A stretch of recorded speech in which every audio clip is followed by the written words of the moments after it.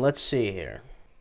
Alright, 78% cotton and 22% polyester. Well, if that's the case, then you know what to do.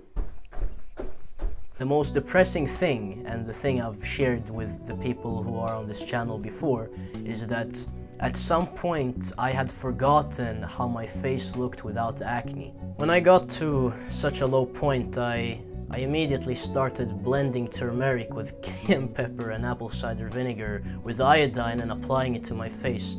I wanted to do anything to see my face again and when you've got problems, when you've had IBS or acne or eczema, which are all the same thing, which is a damaged digestive system, or vertigo or hypoglycemia or hyperglycemia, whatever it might be, your heart will burn with desire and you'll do anything it takes to get rid of the problem that you have. And then, after years of grinding your balls down, it finally clicks and you know what to do and you get rid of all your problems. When you get to this point, you start to realize that every little thing that you realize is unhealthy is having a massive impact on you long term.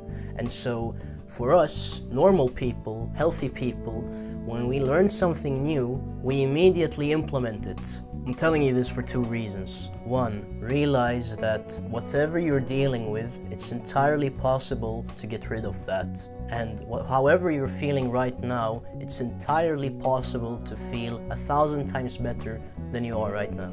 You see, when I discover something, I usually tell my family about it because they're present in the house and it's always good to give them more health knowledge and I thought that this was an important thing.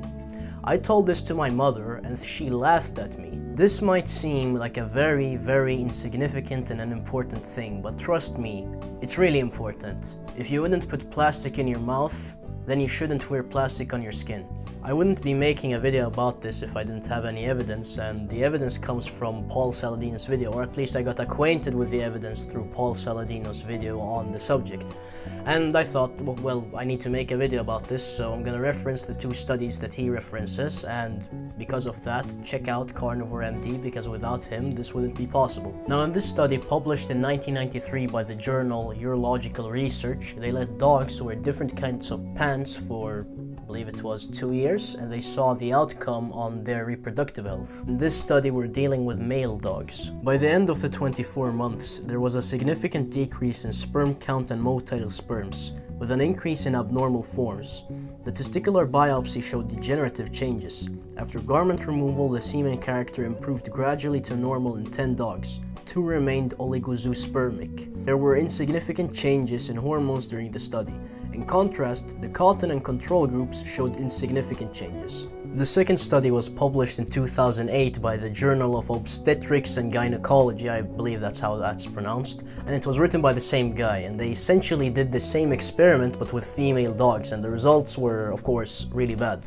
Eight bitches wearing polyester-containing textiles showed diminished serum progesterone in the oestrus of the oestrus cycle and did not conceive on mating or insemination. Five months after pants had been removed, serum progesterone of the eight dogs had normalized and they conceived. Let's go through a few points. Now, first of all, these studies were done on dogs, not humans, and that might be a sticking point for you, but trust me, a dog is a biological organism, and if you zoom in really closely on what a dog is made of, they're made of animal cells, and so are you.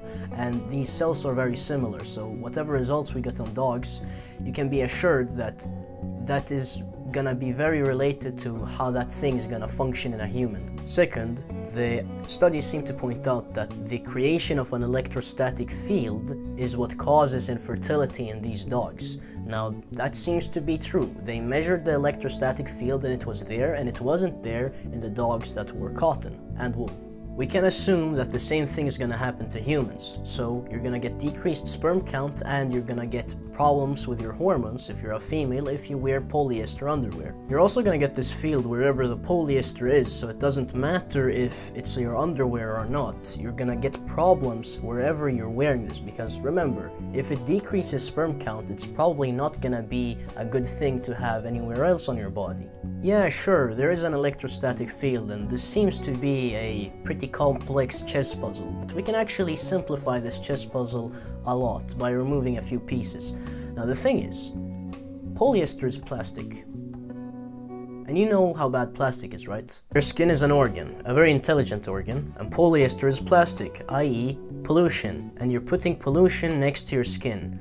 I think the long-term effects of putting plastic on your skin are gonna be bad because of the actual plastic, not just the electrostatic field that is created when you wear such a fabric. Remember, from an evolutionary perspective, we can only handle things that we've been exposed to for hundreds of thousands of years. We haven't been exposed to man-made chemicals until recently, and therefore it would be very unwise to sit there with plastic right around your neck. Before I give you a list of all the synthetic materials you need to avoid, realize that you have a lot of synthetic materials that aren't your clothes that are in your house. As an example, think about your bed sheets. For the past few weeks I've been sleeping on a duvet made from acrylic fabric and so I'm breathing in a bunch of plastic for 8 hours every night. After watching this video, go and check your bed sheets and make sure that they're made of natural materials because otherwise you'll be exposing yourself to a bunch of pollution. If you want me to make a video about bed sheets and beds in general, which I've been researching for the past few days,